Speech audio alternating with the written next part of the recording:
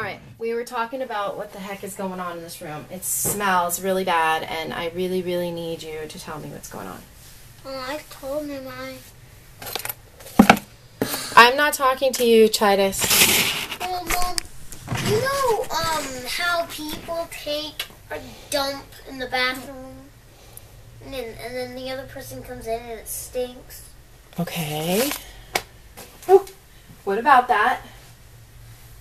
Well, mm, you know how I'm not feeling good, and like, and like when I go to the bathroom, like, like my poop is like a different color. What does that have to do with the smell in this room? Well, um, I wanted to see what was wrong with my with with my body. Go sit next to your brother. So I wanted to see what's wrong with my body. So, um,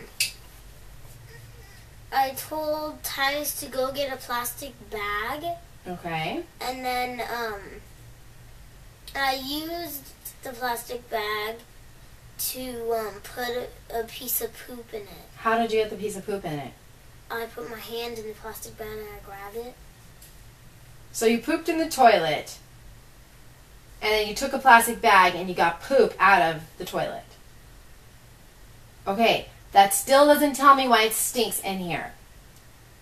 Well, so I zipped it up and I put it somewhere in here.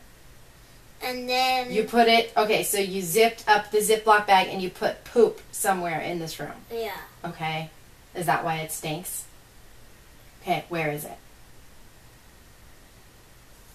Um I think I I think I um I think I accidentally No, don't think. You know exactly where it is. Don't, uh, you own your mistake. Don't, maybe, maybe, I think, possibly. You know exactly where it is. Just say what you did with it. I dropped it behind this dresser right here. Is it still in the Ziploc bag? So, how, how long ago was this? I don't know. Well, it stinks. You knew when you did it, and you helped, that this was not going to go well. Isn't that right, Titus? Yes. What about you, Justin?